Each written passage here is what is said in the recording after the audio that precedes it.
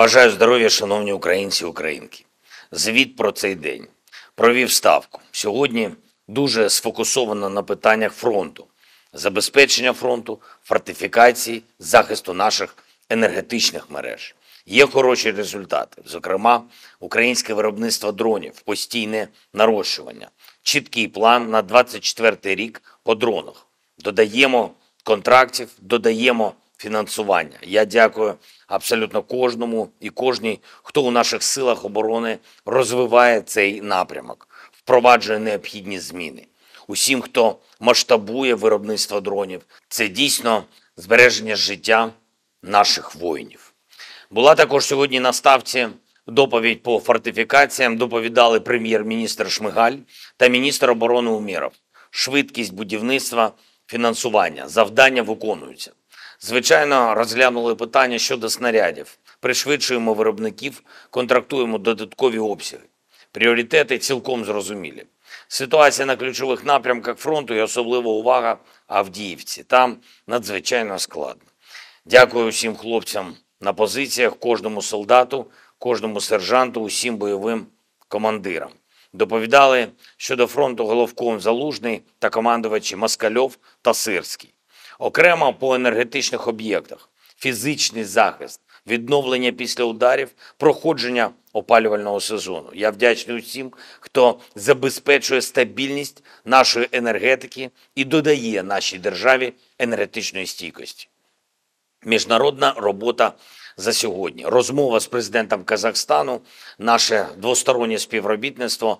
Можемо додати активності. Я поінформував пана президента щодо нашої глобальної роботи з підготовки глобального саміту миру. І, звичайно, подякував народу Казахстану і компаніям за гуманітарну підтримку для наших людей, нашого суспільства. Важливо зберігати спільне бачення принципів і головного миру. Кілька зустрічей за сьогодні. Міністр закордонних справ Канади подякував за незмінну підтримку України за саме таку допомогу, яка посилює найбільше.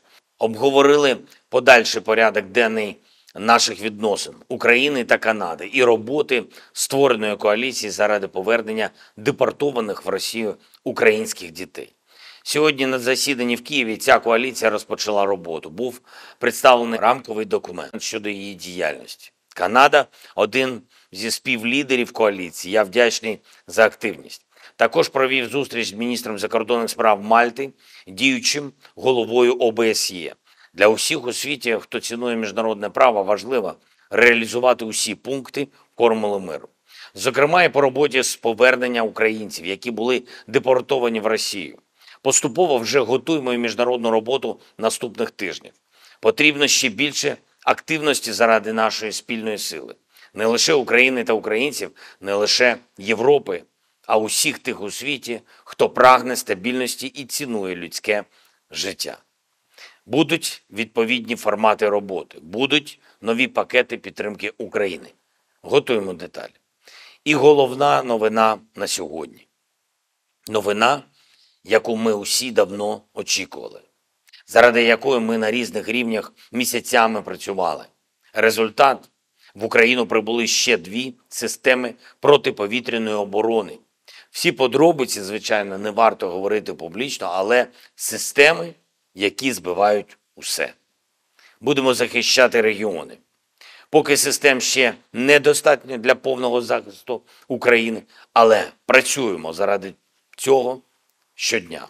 Я вдячний усім, хто допомагає Україні, вдячний усім, хто зміцнює Україну. Я вдячний кожному і кожній, хто б'ється і працює заради того, щоб Україна перемогла. Слава Україні!